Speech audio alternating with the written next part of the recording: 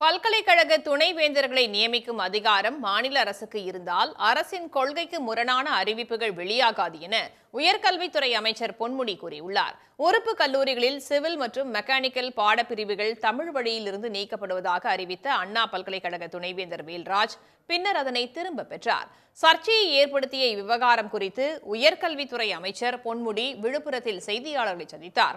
அரசுக்கே தெரிவிக்காமல் துணைவேந்தர் தன்னிச்சையாக இந்த அறிவிப்பை வெளியிட்டதாக அவர் கூறினார்.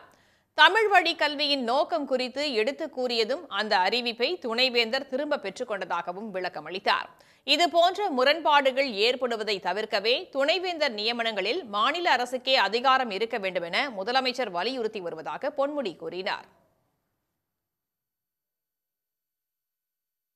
இந்த அறிவிப்பு மிகவும் மோசமானது என்று சொல்லி நான் உடன் சொன்ன உடனேயே அவர் மீண்டும் அதை திரும்ப பெற்று நேற்றைக்கு அவரும் அறிக்கை விடுத்திருக்கிறார். சட்டமன்றத்திலேயே துணைவேந்தர்களை நியமிக்கிற அதிகாரம் மாநிலங்களுக்கு வேண்டும் என்று எல்லா மாநிலங்களும் கோரிக்கொண்டிருக்கிற இந்த சூழலில் நாம் நியமிக்கிறவராக இருந்தால் சரியாக இருப்பாங்க.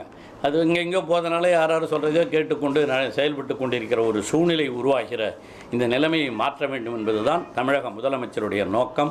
அவர்தான் இந்த தமிழ் வழியிலே பயிற்றுவிக்க வேண்டும் என்று சொல்லி தமிழ் பாடத்தை பொறியியல் கல்லூரியிலே கொண்டு வந்தது மட்டுமல்ல இந்த கல்வியாண்டிலே இருந்து பாலிடெக்னிக் கல்லூரிகளிலேயும் இந்த தமிழ் மொழிப்பாடம் முதலிலே கற்றுக் கொடுக்க வேண்டும் என்று சொல்லியிருக்கிறார். மொழிப்பாடம் கற்றுக் கொடுப்பது மட்டுமில்லாமல் படிப்படியாக அனைத்து பா இந்த இன்ஜினியரிங் மற்றும் பொறியியல் மற்றும் இந்த தொழில்நுட்ப பிரிவுகளில் தமிழ் வழியிலே பயிற்றுவிப்பதற்கான நடவடிக்கைகள் எடுக்கப்படும்.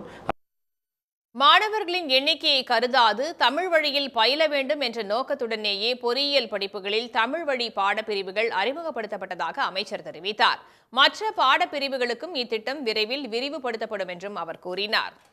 உடனுக்குடன் செய்திகளை தெரிந்து கொள்ள சன் நியூஸ் பெல் கிளிக் பண்ணுங்க.